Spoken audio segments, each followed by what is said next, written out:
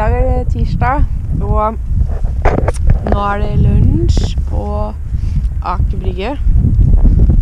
Det er deilig. Ja. En fantastisk lunsj.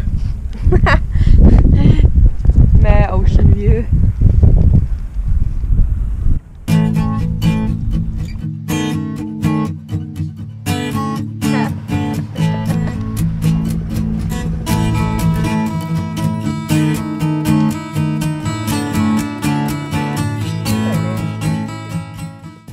Da er jeg på vei til eh, trening på Olympiatoppen.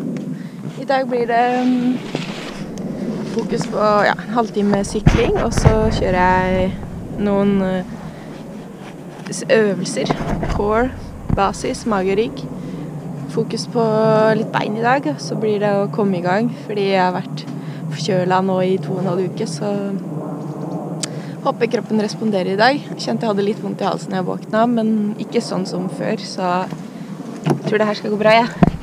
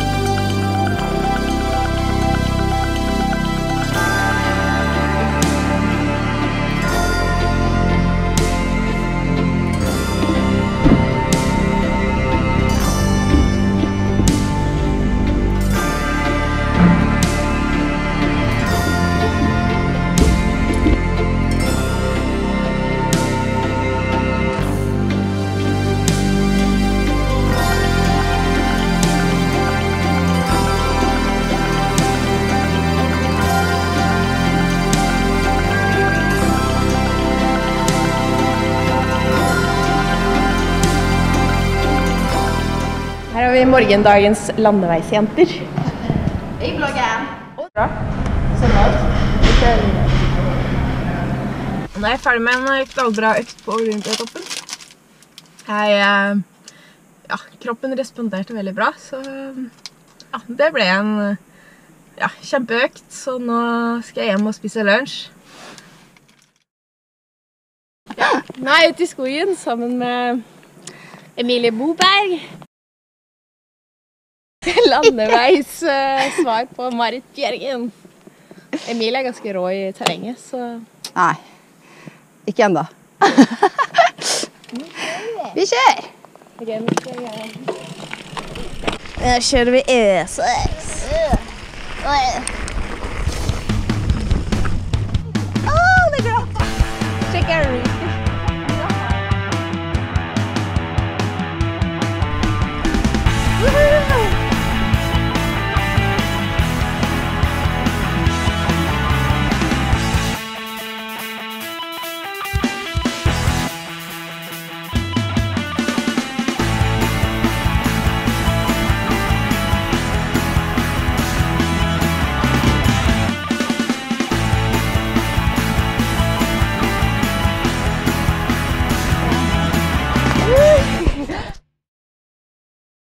Dag er det fredag, og jeg har laga lasagne. Hjemmelaga fra bunnen av. Så her Yummy. Bon appetito. Ja, ja. Nå er vi på Frontsløkka. Det er uh, superpokal. Uhu, her er det action. Kom igjen, kom igjen! Sjøl, men forkjølelse er greit å ta hensyn til. Nå skal jeg heie. Woo!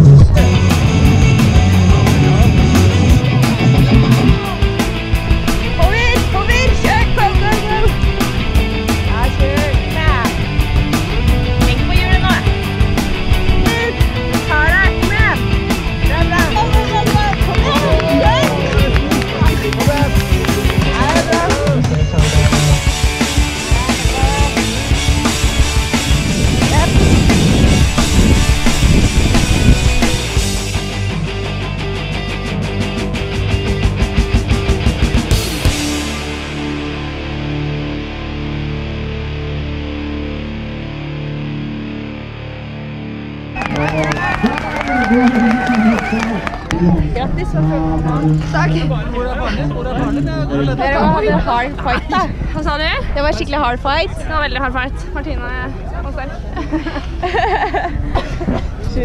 Så jævlig gira på den pokalen, så jeg Har du?